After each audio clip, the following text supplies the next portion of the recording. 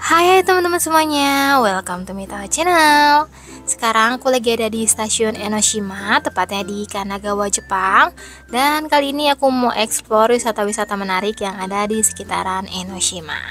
Untuk akses menuju ke Enoshima ini kita bisa naik kereta dari Tokyo. Dan untuk waktu tempuhnya ini sekitar 2 jaman dari sana ya dan untuk menuju ke Enoshima ini kita harus melewati jembatan penyeberangan seperti ini ya. Jadi bisa dengan kendaraan atau bisa berjalan kaki seperti ini. Jadi kayak gini. Dan di sepanjang perjalanan menuju ke kuil Enoshima ini banyak banget toko-toko souvenir dan juga makanan yang bisa kita jumpai. Ini pilihannya beraneka ragam banget. Dan kalau menurutku suasana di sini tuh mengingatkan aku akan suasana di kota Kyoto ya. Dan ini adalah gerbang menuju ke kuil Enoshima-nya. Untuk akses jalan ke sini ini emang menanjak banget. Jadi kalau teman-teman mau berkunjung ke sini ini diusahakan bisa pakai alas kaki yang nyaman aja ya. Tapi untuk view-nya memang juara banget. Baru di depan gerbangnya aja udah secantik ini view-nya. Jadi di sana juga ada toko souvenir dan ini adalah gerbang masuknya. Nanti kita naik ke atas. Tapi kalau misalnya teman-teman gak mau jalan kaki ke atas di sini juga ada eskalator berbayar. Jadi kita bisa naik eskalator berbayar ya di sebelah sana ya. Dan ini adalah view dari gerbangnya. Ini tuh beneran cantik-cantik banget view dari sini tuh. Dan akhirnya kita sampai juga di kuil Enoshima-nya. Jadi ini adalah suasana di kuil Enoshima-nya jadi seperti ini. Dan di kuil Enoshima juga kita bisa berdoa di sini dan juga kita bisa berdoa lalu lempar koin di sini juga. Dan ornamen-ornamen di kuil Enoshima ini tuh cantik-cantik banget dan juga banyak hiasan-hiasan dari bunga-bunga asli seperti ini. Dan tamannya juga ini beneran cantik banget.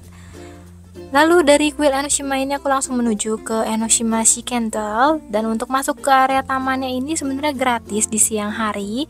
Tapi setelah lewat dari jam 5 sore ini berbayar sekitar 500 yen per orang ya.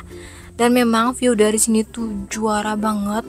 Cantik banget viewnya ini langsung ke laut lepas Oh iya, kalau misalnya teman-teman mau naik ke atas si kentelnya, ini berbayar terpisah ya. Jadi teman-teman harus tambah 500 yen untuk naik ke atas uh, si kentelnya.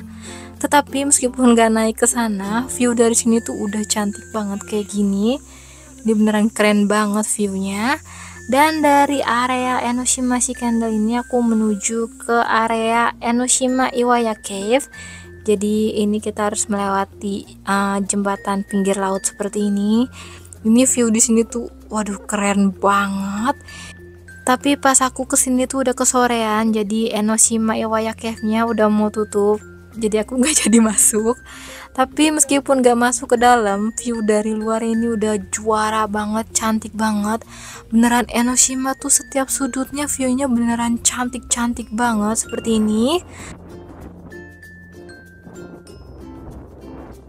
Dan ini adalah view di malam harinya View di malam harinya nggak kalah juara dari view di siang harinya Beneran secantik ini dong dan kebetulan banget pas aku berkunjung ke sini ini lagi ada event Enoshima Lantern 2023. Untuk eventnya ini mulai dari tanggal 15 Juli sampai tanggal 23 Agustus 2023 ya. Jadi dimulai dari kuil Enoshima dan sekelilingnya ini akan dihiasi oleh lebih dari 1000 lampion dan juga pertunjukan light up yang keren banget. Dan ini adalah area utama dari kuil Enoshima. Di sini juga ada pertunjukan light up seperti ini. Jadi pertunjukan light up ini nggak cuma di area atas, tapi juga di bagian bawah lantainya seperti ini. Ini tuh desainnya cantik banget dan warnanya itu bisa berubah-ubah sesuai dengan desainnya ya. Jadi seperti ini dari bawah dia naik ke atas.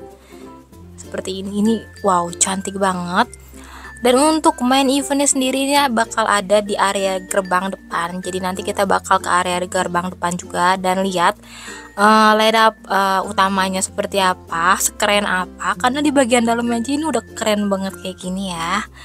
Dan ini adalah area lantainya juga ini keren banget beneran keren banget. Dan untuk masuk ke sini tuh ini gratis nggak berbayar kita nggak mesti bayar apa pun. Tapi pertunjukan yang disungguhkan itu beneran cantik dan sekeren ini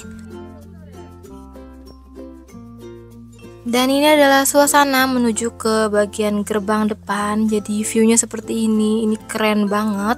Serasa lagi ada di fairy tale ya, kayak gini. Nanti kita bakal menuju ke gerbang utama yang di bagian bawah. Dan dari sini kita bisa melihat gemerlapnya kota Enoshima. Cantik banget seperti ini. Dan ini adalah pertunjukan line up utamanya. Jadi uh, pertunjukan utamanya ini ada di gerbang depan kuil Enoshima dan memang ini tuh beneran keren banget kayak gini. Oke jadi sekian aja videoku kali ini. Semoga videoku kali ini bisa menghibur dan bermanfaat untuk teman-teman semua ya.